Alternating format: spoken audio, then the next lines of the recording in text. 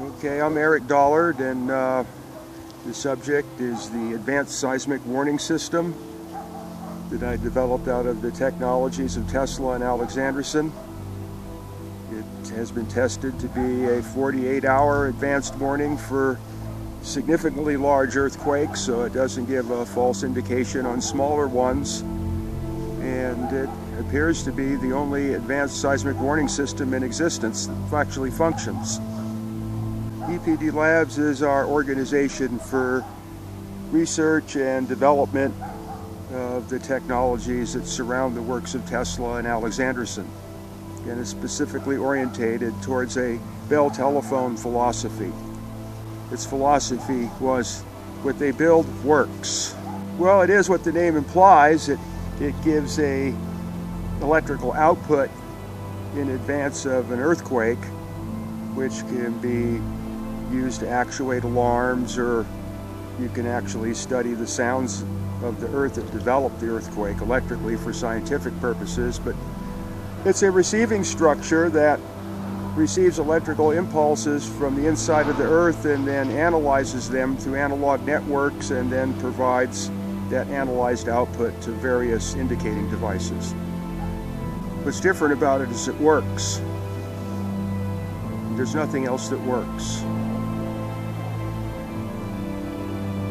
That's from the operational standpoint. From the te technical standpoint, no one has developed transmission networks like this before that are capable of receiving wideband bandwidth signals from the interior of the Earth without being interfered by signals from the outside of the solid mass of the Earth. Well, the main thing is to uh, limit the magnitude of the disaster. And that can't happen just by telling everyone that we're going to have a giant earthquake and let them freak out. So the only reasonable way to apply this specific engineering technology is to for the utility companies and transportation and what have you to be ready to scale things down really quickly when the indication is given that there's going to be a major seismic event such as uh, you know gas lines and power lines and railways and these kind of things. The only thing you can really do is minimize the size of the fireball. There's no way you can prevent the earthquake and there's no way that the general public can be expect, expected to reasonably respond to the disaster without causing another disaster of even larger proportions.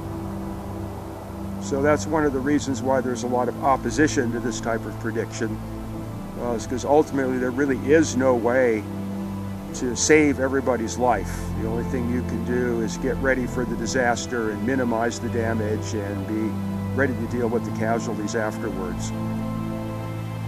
Yeah, there's there, at, by the end of the year there will be a system that demonstrates the overall engineering layout and and it works.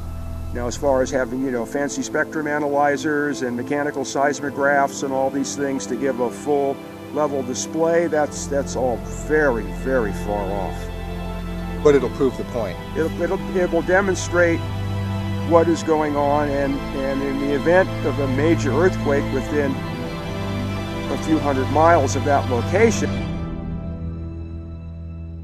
The real critical thing here is why we need to get a research grant and really be able to move heavily forward with this is statistically uh, California, most likely Southern California, is going to be hit by a massive earthquake uh, quite possibly by the end of this decade and it would really be good if somebody start thinking more seriously about this so the system has been tested to work. This is not an experimental system. There's no doubts. It's fully engineerable. It has been built and it does work. Even for earthquakes distant as the giant Japan earthquake, which the system was never designed to receive on an underground level, even on the overground level, uh, there was a 48-hour advance warning of that from the, the uh, what's called a noise storm that came in via the ionosphere, which could only be from two sources, either an earthquake or a hurricane. And it did not have the waveforms of a hurricane. It was definitely an earthquake, but without multiple receiving stations.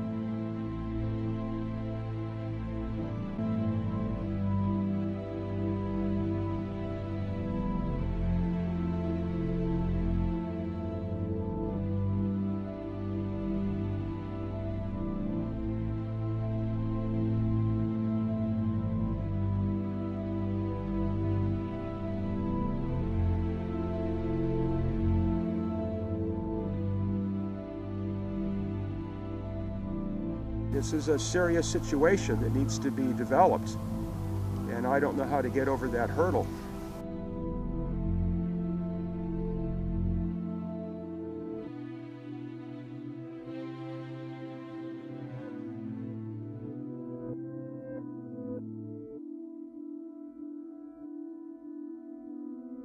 This is a serious situation that needs to be developed, and I don't know how to get over that hurdle.